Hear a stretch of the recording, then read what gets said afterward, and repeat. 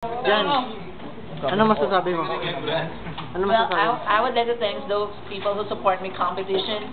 Most of all, Digna Purinaria for my hair and makeup. And Ikaw, Angie, ano masasabi mo? Wala, no comment ano ka ulit. tingnan muna kami, baka naman makita kami ni Angie para naman pag natanggal ako. Hi, supervisor ko, pero pinakamaganda ako. Ikaw, ano, Miss Julia, ano pwede mo sabihin? Actually, walang sasabihin si Julie. Yeah, wala. Okay na, next na. Si Joy na, si Joy na. Joy. Oh, Wala din si Joy sasabihin, okay lang siya. Si Marky, behave siya ngayon. Lotus, ano sasabihin mo? Bakla video yan, hindi yan. Anong, anong masasabi mo sa appointments mo? Mahirap? Hirap. Ikaw, ano masasabi mo?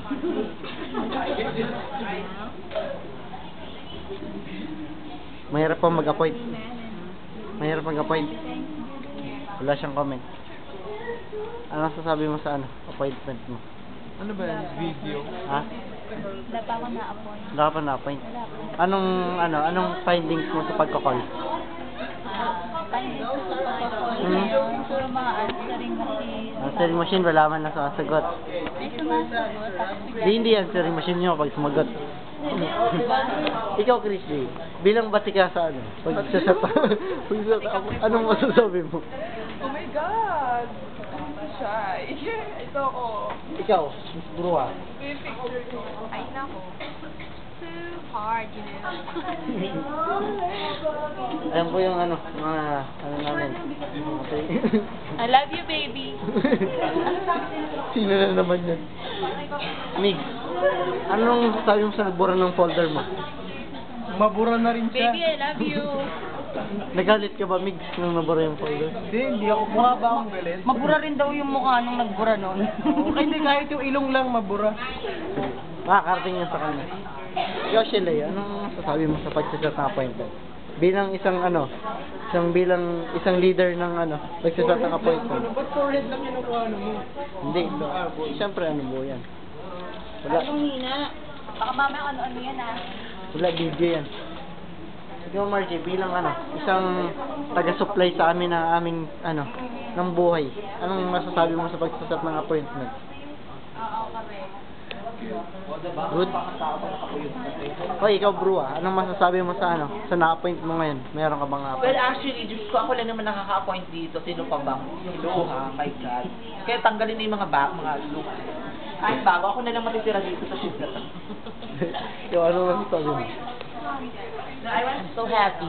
Happy? I'm not so happy. Hi, baby. Gagyo. Ah. out, out of company yan dyan. Sino pa? Ano masasabi mo? Sa pagsaset ng appointment, gano'ng kahirap? Wala po akong makausap. Wala kang makausap? Teka lang po ah, papalawas mo sa yan. Ano yan? I-upload yung mga kalokohan ng H-marketing. Papalawas mo sa TV. Ikaw? Maganda yung palabas. Nagustuhan ko. Hindi ka nagtatrabaho, no? Kakapalitan namin. Ikaw? Palitan kaya ako. Ay, sa nanay ko. Sa pakagbahay namin. Bilang ano, biling na nam namumuna dito. No comment. Ano comment? Ikaw ate, bilang taga-sulat. Mag-comment ako dito ng mga kababalang. Okay. Ikaw? Ano masasabi mo?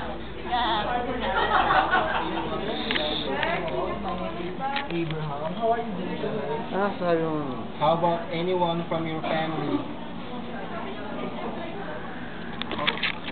Ako wala talaga masasabi kasi ano. this call, stay healthy and have a wonderful F na day. F mo. Ako yung ano, ako yung ano dito host. Ano masasabi mo? Pala, ano masasabi mo? Ano masasabi mo sa ano, pagsaset ng appointment? So hard. Mahirap. So hard for me because I'm, you know, I'm, this is my first time to, you know, but we're trying to adjust. We're trying to cope up with the, the environment. So I hope the next day uh, we could, uh, you know, overcome our fears. But, but we're trying. So, well explain. Sakit ng ulo ko, sakit, sakit ng ilong ko, hindi ka naintindihan. Bala ng mga mga kumpanyero at mga co-viewers. Ano, see na lang. Abangan niya, salamat. Ito nga pala yung ano, kwentong Edge Marketing. Spoof interview ni JR. Sige.